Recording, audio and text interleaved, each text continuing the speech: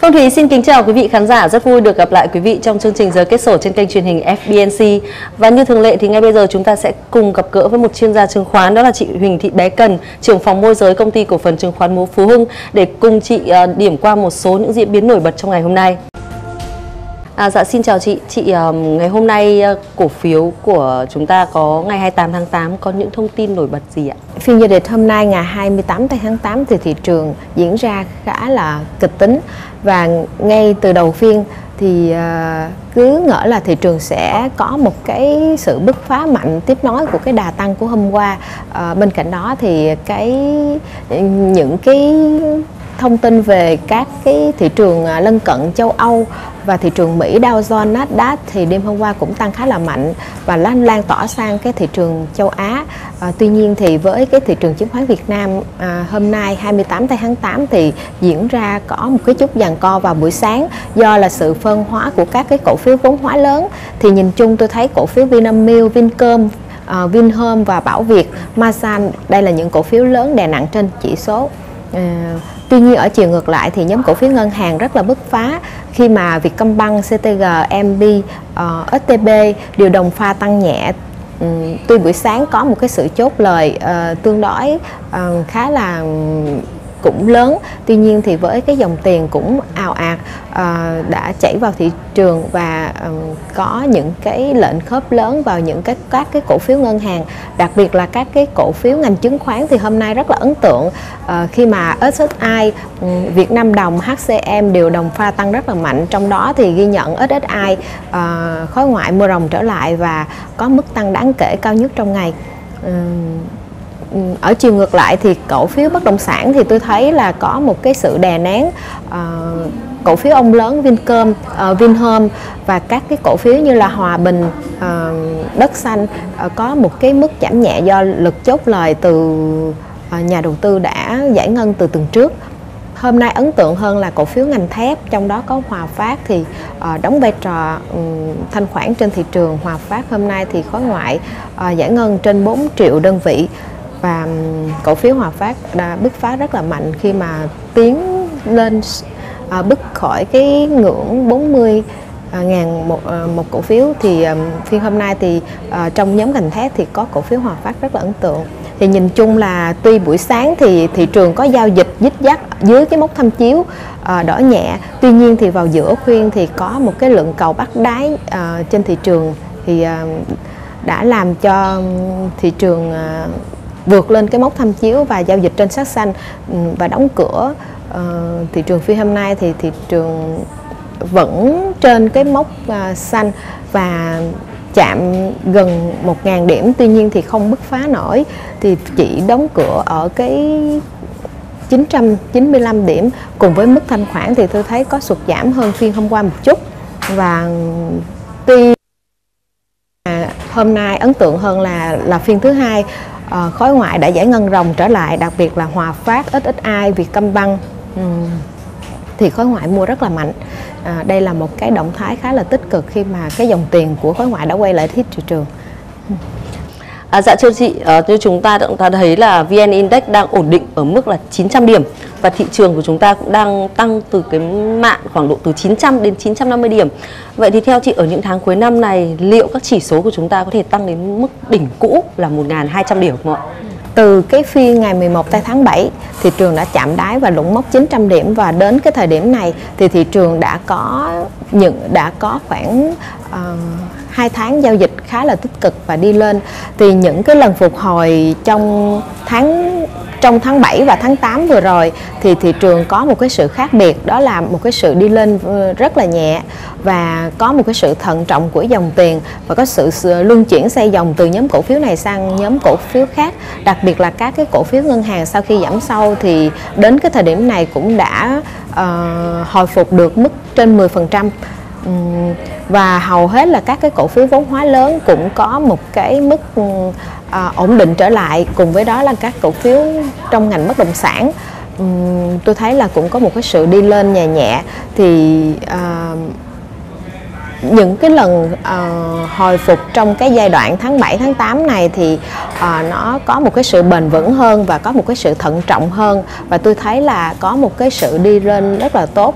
Kèm theo các cái thông tin về cả doanh nghiệp trong cái báo cáo quý 2 vừa rồi um, một vài doanh nghiệp rất là nổi trội và có được, được đánh giá là các cái doanh nghiệp sẽ có một cái mức lợi nhuận khá là tốt vào cái giai đoạn uh, quý 3 cũng như là cuối năm. À, vì thế là trong cái bối cảnh hiện nay tuy à, về cái tình hình kinh tế vĩ mô thì nó cũng à, chưa có một cái thông tin nào về đáng kể. Tuy nhiên thì à, với cái thông tin căng thẳng giữa Mỹ và Trung Quốc thì cũng có vẻ nhà đầu tư đã chấp nhận được về cái tình hình ừ, căng thẳng giữa chiến tranh thương mại Mỹ và Trung thì nhà đầu tư đang có thể chịu đựng được. Và nếu như cái trạng thái này lắng đi, cùng với cái việc mà đồng đô nó cũng nhẹ dịu hơn, thì tôi nghĩ là với cái đà hồi phục ờ, cùng với cái sự tham gia ờ, dích dắt của các cái nhà đầu tư trên thị trường hiện nay thì tôi nghĩ là um, thị trường sẽ còn bứt phá hơn và có thể là sẽ tích lũy đi ngang và sẽ đạt được cái mốc đỉnh cũ của đầu tháng 4 2018 vừa rồi. Hiện tại thì với cái dòng tiền tham gia vào thị trường thì cũng khá là đều đặn. Vì thế thì uh, tôi nhận định thì nhìn nhìn xa hơn thì tôi không thể nhận định được nhưng mà có thể là với cái trạng thái như trong giai đoạn này thì Ờ, thị trường sẽ bắt đầu là có những phiên tăng giảm đang xen và ờ, thiên về phía tăng kèm theo là ờ, tăng giảm đang xen để có thể thu hút dòng tiền vào thị trường và thị trường sẽ hồi phục trở lên. À, dạ vâng, bình thường thì tâm lý các nhà đầu tư là cái thời điểm thị trường chứng khoán của chúng ta đang tăng thì họ rất ngần ngại cái việc mua vào. Thế thì um, theo nhận định của chị thì đến thời điểm này các nhà đầu tư có nên mua vào không khi mà ừ, họ sợ tâm lý họ sợ là nó sẽ bị chững lại nó không thể tăng được nữa. Thì tâm lý à, nhà đầu tư và à, các chuyên gia cũng khuyến nghị là à, thị trường đang tăng một ừ, đang tăng cũng khá là mạnh. À, thì cũng có thể là à, khuyến nghị nhà đầu tư thận trọng giải ngân ở một cái mức nào đó. Tuy nhiên thì à, theo quan sát của tôi thì à, với cái sự hồi phục của thị trường từ 900 đến giai đoạn này thì 950 điểm trong một khoảng cái thời gian là hai tháng thị trường đi lên. Thì trong cái sự đi lên đó thì nó khác với những lần tăng trước. Những lần tăng trước thì thị trường à, khá là nóng và cũng có những cái phiên mà giảm khá là sốc. À, chính vì vậy thì um, cùng với đó thì bên cạnh thì thông tin của thị trường cũng không có gì uh, đáng chú ý. Tuy nhiên thì thị trường cũng có những cái phiên uh, giảm sốc thì khiến cho nhà đầu tư cũng lo ngại trong cái khoảng thời gian trước. Ờ, nhưng mà hai tháng trở lại đây thì tôi thấy là um, cái giao dịch trên thị trường nó có khác đi.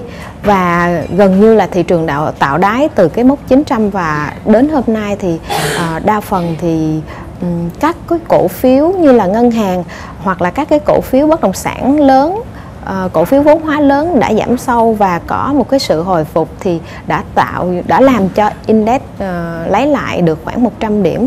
Tuy nhiên thì trong cái bối cảnh này thì ừ, theo tôi nhận định thì còn cũng rất là nhiều cổ phiếu uh, vẫn còn nằm ở mức đáy cũ của tháng tư. Ừ, vì thế thì uh, nhà đầu tư uh, nếu mà thận trọng thì cũng có thể là nhận định cũng có thể tham gia vào các cái cổ phiếu mà cơ bản nền tảng tốt và với cái mức mà hồi phục ừ, chưa có nhiều.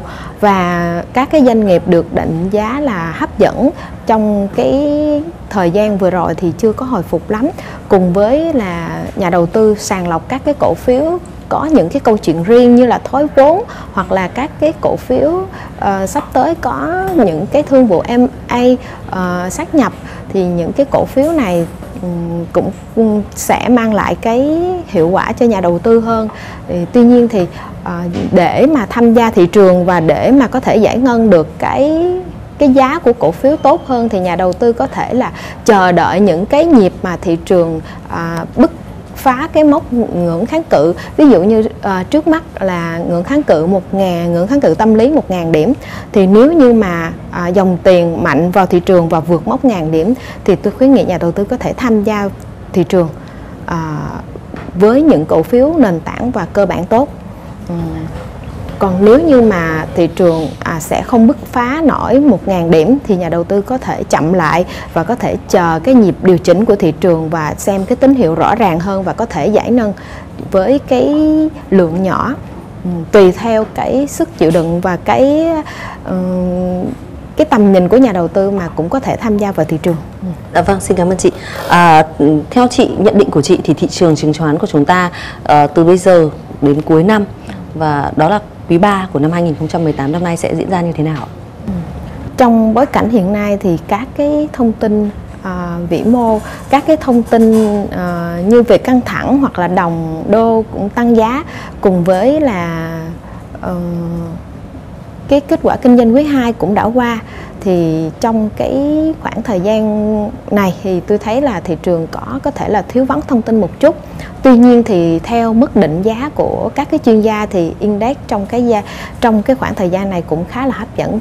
Kèm theo đó là các cái cổ phiếu um, nền tảng cơ bản tốt cũng đang ở cái vùng giá tương đối là hợp lý để có thể giải ngân.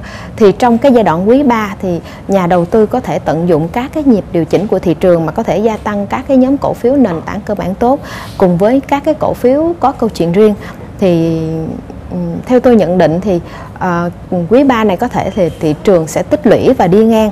Uh, để thị trường đi lên thì cái điều quan trọng là uh, đánh giá doanh nghiệp về cái cơ, doanh nghiệp nền tảng cơ bản tốt và ừ, những cái mức lợi nhuận của doanh doanh nghiệp à, sẽ tạo nền tảng cho index đi lên thì tôi nghĩ là trong quý 3 này thị trường à, sẽ đi ngang và tích lũy để tiếp để tạo cái đà cho quý tư và uh, nhìn chung thì tôi nhìn nhận thì từ đây tới cuối năm thị trường sẽ tích cực và có thể chạm lại cái mốc có thể chạm lại cái mốc 1.200 điểm. Dạ vâng, xin cảm ơn những chia sẻ của chị.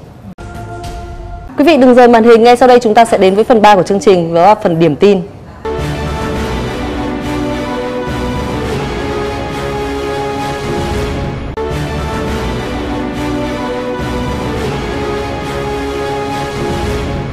Quý vị đang đến với phần 2 của chương trình Giờ Kết Sổ và ngay sau đây chúng ta sẽ cùng điểm những thông tin nổi bật của các doanh nghiệp trong nước và trên thế giới. Thưa quý vị, công ty cổ phần bóng đèn điện quang mã chứng khoán là DQC San Jose cho biết, ngày 7 tháng 9 tới sẽ chốt danh sách cổ đông trả cổ tức đợt 1 năm 2018 bằng tiền mặt. À, theo đó thì Điện Quang sẽ chi gần 47 tỷ đồng để trả cổ tức theo tỷ lệ là 15%, tức một cổ phiếu sẽ nhận được 1.500 đồng. Tuy nhiên thì trong nghị quyết của hội đồng quản trị này, công ty đã không đưa ra thời gian dự kiến trả cổ tức cho cổ đông hiện hữu. Năm 2017, mặc dù không hoàn thành kế hoạch kinh doanh với lợi nhuận ghi nhận là 111 tỷ đồng, đạt 74,22% kế hoạch, nhưng công ty vẫn chia cổ tức 30% bằng tiền mặt cho cổ đông. Năm nay thì Điện Quang tiếp tục đặt mục tiêu chia cổ tức bằng tiền mặt với tỷ lệ là 30%. Kế hoạch doanh thu và lợi nhuận lần lượt là 1.160 tỷ đồng và 150 tỷ đồng. Kết thúc 6 tháng đầu năm thì công ty đạt doanh thu gần 470 tỷ đồng, lợi nhuận trước thuế khoảng 59 tỷ đồng. Mới chỉ hoàn thành gần 41% về doanh thu và 39,1% về lợi nhuận năm được biết thì sau ban phiên liên tiếp đầu tuần khởi sắc thì cổ phiếu của DQC đã quay điều đầu điều chỉnh trong phiên 23 tháng 8. Kết phiên thì DQC giảm nhẹ 0,2% xuống mức là 28.550 đồng một cổ phiếu với khối lượng khớp lệnh là 2.730 đơn vị. Thưa quý vị, Công ty cổ phần Thế giới di động mã chứng khoán là MWG vừa công bố tình hình kinh doanh 7 tháng năm 2018 với doanh thu thuần hợp nhất đạt gần 52.000 tỷ đồng, tăng 41% so với cùng kỳ, trong đó doanh thu online tăng 114% lên 6.400 tỷ đồng. Lợi nhuận sau thuế hơn 1.700 tỷ đồng, tăng 39% so với cùng kỳ năm 2017 và chiếm 67% kế hoạch năm. Nhóm sản phẩm điện thoại, máy tính bảng, máy tính sách tay, phụ kiện đóng góp 54% doanh thu thuần. Tiếp theo là nhóm sản phẩm điện tử, điện lạnh và gia dụng với 40%. Nhóm thực phẩm và hàng tiêu dùng đóng góp 4%, còn lại 2% thuộc về các dịch vụ khác. Sau mùa cao điểm bán hàng trong nửa đầu năm 2018, mặc dù đã giảm tốc nhưng công ty vẫn ghi nhận mức tăng trưởng doanh thu là 89% do nhóm sản phẩm điện máy và 19% cho nhóm sản phẩm điện thoại so với cùng kỳ năm 2017. Theo chu kỳ kinh doanh thì doanh thu điện máy và điện thoại có xu hướng chững lại trong những năm tháng tới và tăng trưởng trở lại vào mùa lễ hội cuối năm. Thưa quý vị, Công ty cổ phần Thế giới di động mã chứng khoán là MWG vừa công bố tình hình kinh doanh 7 tháng năm 2018 với doanh thu thuần hợp nhất đạt gần 52.000 tỷ đồng, tăng 41% so với cùng kỳ, trong đó doanh thu online tăng 114% lên 6.400 tỷ đồng. Lợi nhuận sau thuế hơn 1.700 tỷ đồng, tăng 39% so với cùng kỳ năm 2017 và chiếm 67% kế hoạch năm. Nhóm sản phẩm điện thoại, máy tính bảng, máy tính sách tay, phụ kiện đóng góp 54% doanh thu thuần. Tiếp theo là nhóm sản phẩm điện tử, điện lạnh và gia dụng với 40%. Nhóm thực phẩm và hàng tiêu dùng đóng góp 4%, còn lại 2% là thuộc về các dịch vụ khác. Sau mùa cao điểm bán hàng trong nửa đầu năm 2018, mặc dù đã giảm tốc nhưng công ty vẫn ghi nhận mức tăng trưởng doanh thu là 89% cho nhóm sản phẩm điện máy và 19% cho nhóm sản phẩm điện thoại so với cùng kỳ năm 2017. Theo chu kỳ kinh doanh thì doanh thu điện máy và điện thoại có xu hướng chững lại trong những tháng tới và sẽ tăng trưởng trở lại vào mùa lễ hội cuối năm. Thưa quý vị, theo thông báo của Tổng công ty lắp máy Việt Nam Lilama, mã chứng khoán là NNM, công ty đã hoàn tất toàn bộ ờ, 7,98 triệu cổ phiếu SVH của công ty cổ phần thủy điện sông Vàng SVH, tương ứng gần 54% tổng số cổ phiếu có quyền biểu quyết đang lưu hành. Tổng số tiền thu về trên là 106 tỷ đồng. Đây là hoạt động thoái vốn theo đề án tái cơ cấu đã được Bộ Xây dựng phê duyệt. Cổ đông sáng lập của SVH gồm Lilama, Tổng công ty xây dựng công trình giao thông 5 và công ty tài chính dầu khí. Hai cổ đông sáng lập còn lại là xây dựng công trình giao thông 5 và tài chính dầu khí cũng đã chuyển nhượng toàn bộ cổ phần còn lại. Cuối năm 2017, thì uh, SVH uh, chính thức giao dịch trên sàn Upcom với giá tham chiếu trong ngày giao dịch đầu tiên là 6.300 đồng một cổ phiếu. Hiện SVH ở vùng giá hơn 13.000 đồng một cổ phiếu với thanh khoản rất thấp. Sau đây sẽ là một số những tin tức trên thế giới. Thưa quý vị, các hợp đồng dầu thô tương lai tăng nhẹ vào đầu tuần khi một ủy ban của các nhà sản xuất trong và ngoài OPEC tiết lộ những bước tiến trong quá trình nới lỏng các đợt cắt giảm sản lượng. Mức độ tuân thủ của các nước tham gia vào thỏa thuận cắt giảm sản lượng hồi đầu năm 2017 đã giảm xuống 109% trong tháng 7, giảm so với mức 121% hồi đầu tháng 6 và 147% trong tháng 5. Kết thúc phiên giao dịch ngày thứ hai thì hợp đồng dầu thô ngọt nhẹ WTI giao tháng 10 trên sàn NYMEX tăng 0,2% lên 68,87 đô la Mỹ một thùng, mức đóng cửa cao nhất kể từ ngày 7 tháng 8 năm 2018. Hợp đồng dầu Brent giao tháng 10 trên sàn London cũng tăng 0,5% lên 76,21 đô la Mỹ một thùng, mức đóng cửa cao nhất kể từ ngày 10 tháng 7 năm 2018. Thưa quý vị, số liệu chính thức cho thấy Ngân hàng Trung ương Nga đã tăng nắm giữ gần 29 tấn vàng trong tháng 7, mức tăng hàng tháng lớn nhất kể từ tháng 11 năm 2017. Trước đó thì Ngân hàng Trung ương Nga đã bổ sung 20 tấn vàng vào tháng 5 và 17 tấn vàng vào tháng 6. Như vậy, tổng lượng vàng mà Nga đang nắm giữ tăng 37% kể từ đầu năm 2016 và hiện giá trị khoảng 76 tỷ đô la Mỹ.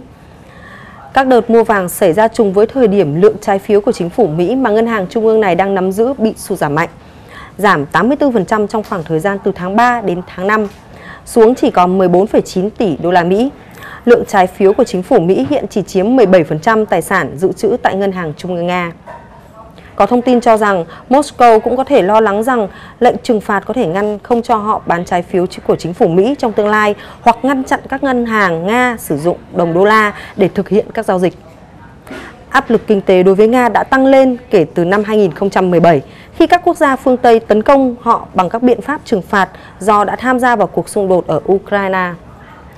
Theo giới phân tích thì lượng vàng dự trữ cho thấy Moscow đang nghĩ rằng họ sẽ bị trừng phạt nhiều hơn trong thời gian tới. Thưa quý vị, các kim loại quý tăng giá nhờ đồng đô la suy yếu khi sự lạc quan về thỏa thuận NAFTA đã xóa bỏ một số lo ngại về chiến tranh thương mại trong tháng 8 vừa qua. Vào hôm qua thì Tổng thống Mỹ Donald Trump đã công bố một thỏa thuận sơ bộ với Mexico về các vấn đề đã được tổ chức tái đàm phán Hiệp định Thương mại Tự do Bắc Mỹ NAFTA trong hơn một năm qua. Kết thúc phiên giao dịch ngày thứ hai thì hợp đồng vàng giao tháng 12 tăng 0,2% lên 1.216 đô la Mỹ một ounce. Hợp đồng vàng giao ngay cộng thêm 0,3% lên 1.208 đô la Mỹ một ounce. Vàng và đồng đô la tiếp tục mối quan hệ nghịch chiều với chỉ số đồng đô la ICE US Dollar Index. Thước đo diễn biến của đồng đô la so với 6 đồng tiền chủ chốt à, giảm 0,4%. Được biết thì vàng thường tăng khi đồng đô la suy yếu và ngược lại. Vì kim loại quý được neo giá theo đồng bạc xanh. Hợp đồng bạch kim giao tháng 10 vọt 1,9% lên 804,20 đô la một ounce. Hợp đồng Paladin giao tháng 9 cộng 1,4% lên 941,90 đô la Mỹ một ounce. Cũng trong phiên giao dịch ngày thứ hai thì chứng chỉ quỹ SPDR Gold Trust tăng 0,3%.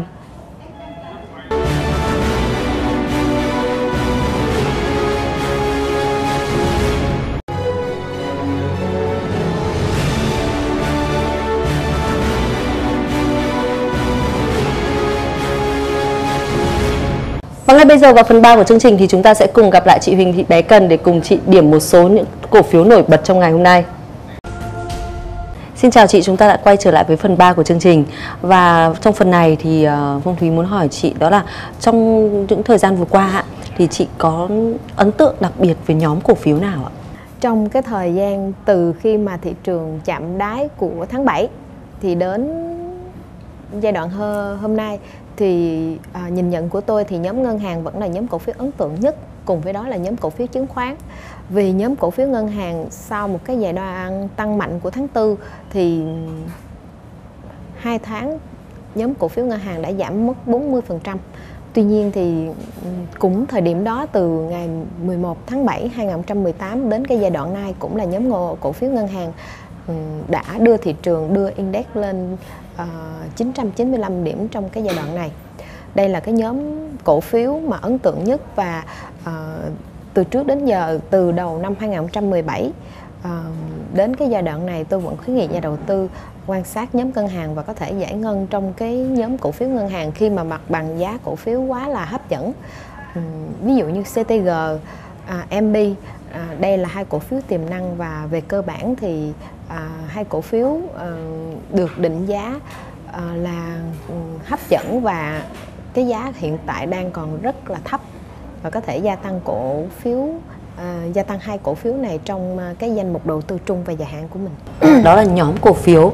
Vậy thì uh, Phương Thúy muốn hỏi một câu mà các nhà đầu tư chắc chắn là cũng sẽ rất là quan tâm. Đó là chị có ấn tượng ừ, với một cổ phiếu nổi bật nào mà chị muốn giới thiệu với các nhà đầu tư không? Cái giai đoạn vừa rồi thì à, sự nổi trội lên của cổ phiếu à, giúp Hoàng Anh Gia Lai đó là mã HNG thì cũng đã có một cái sự bứt phá đi lên à, rất là đáng kể. À, sau cái thông tin là ETF có thể thêm vào danh mục thì à, Hoàng Anh Gia Lai à, cái cổ phiếu HNG cũng có một cái sự bứt phá. À, tuy nhiên thì khoảng ừ, 3 tuần trở lại đây thì cổ phiếu này có một cái sự đi ngang và tích lũy à, thì đây là cái cổ phiếu mà tôi ấn tượng nhất à, đi từ cái giá 10 um, tăng thẳng lên à, với cái mức giá là 17 ngàn. À, nhà đầu tư có cái nhận định là cổ phiếu này có thể đi lên tiếp. À, bên cạnh đó thì trong cái à, vừa qua thì cũng có câu cổ phiếu gia thì um, từ cái giai đoạn lên sàn khoảng tháng 6 thì cái mức chào sàn 250 ngàn. À, tuy nhiên đến cái giai đoạn hiện nay thì à, cái cổ phiếu này giảm liên tục và hôm qua thì nằm sàn. À, tuy nhiên thì hôm nay có một cái sự bứt phá thì cổ phiếu này đã quay trở lại với mức giá trần. Thì đây là cái cổ phiếu ấn tượng nhất từ khi chào sàn đến hôm nay à, giảm liên tục và hôm nay mới là cái phiên hồi phục trở lại. Dạ vâng thưa chị, ngoài các cổ phiếu chị vừa nêu thì ờ, có một cổ phiếu nào mà chị cảm thấy ấn tượng hơn không? Để có thêm sự lựa chọn nữa cho các nhà đầu tư ạ? cái tuần chia sẻ trước thì tôi cũng có khuyến nghị nhà đầu tư quan sát cổ phiếu ngành thép trong đó là cổ phiếu Hòa Phát. Thì Hòa Phát đã tích lũy một cái giai đoạn tích lũy mặt bằng giá từ giá 36 37 trong một cái khoảng thời gian tương đối là uh, dài. Và um, trước khi mà thị trường à, có những cái phiên sụt giảm mạnh thì cổ phiếu Hòa Phát cũng tăng rất là tích cực à, và sau đó thì cái khi mà thị trường chạm đáy thì cổ phiếu Hòa Phát cũng à, giảm về mức giá khá là hấp dẫn và đến nay thì um, Tuần trước tuy khuyến nghị nhà đầu tư tích lũy cổ phiếu Hòa Phát giá 36 37 về hiện tại đến phiên ngày hôm nay 28 tháng 8 thì cổ phiếu Hòa, Hòa Phát có một cái sự bứt khóa rất là mạnh. Ờ, hôm nay ấn tượng à, khi mà nhà đầu tư nước ngoài giải ngân cổ phiếu Hòa Phát trên um, 4 triệu đơn vị thì làm cho cái cổ phiếu này đã bước được cái mốc 40.000 đồng một cổ phiếu. Thì đây là một cái cổ phiếu ấn tượng đóng vai trò thanh khoản trên thị trường kèm với cái sự mua rồng của khối ngoại khá là ấn tượng. Thì tôi khuyến nghị là nhà đầu tư có thể là canh những cái nhịp Ừ, rung lắc ở cái ngưỡng kháng cự của thị trường và có thể gia tăng đối với cái cổ phiếu Hòa Phát để cho mục tiêu là cuối năm. Thì uh, cuối năm thì à, về cái vấn đề tiêu thụ thép sẽ tăng lên à, xây dựng à, cũng tăng. Vì thế là à, ngành thép sẽ đóng vai trò rất là tốt trong cái giai đoạn cuối năm. Bên cạnh đó thì với cái sự cạnh tranh của cổ phiếu Hòa Phát Hòa Phát um, um, có một cái lượng tiêu thụ khá là lớn khi mà uh, xuất ra các cái nước um, lân cận. Thì với cái tốc độ tiêu thụ của Hòa Phát khá là rộng và cái ghi nhận là cổ phiếu Hòa Phát đạt được cái mốc 60% về cái thị phần thì các nhà đầu tư có thể là tham gia cổ phiếu Hòa Phát mạnh. Dạ vâng, xin cảm ơn chị. Chắc chắn là với những chia sẻ của chị, những nhóm cổ à, những cổ phiếu nổi bật mà chị vừa chia sẻ thì các nhà đầu tư sẽ có thêm những lựa chọn cho mình. Cảm ơn chị ạ. Chương trình giờ kết sổ xin được khép lại tại đây. Xin cảm ơn công ty cổ phần chứng khoán Phú Hưng đã cùng chúng tôi đồng hành với chương trình. Xin cảm ơn quý vị và các bạn đã quan tâm theo dõi.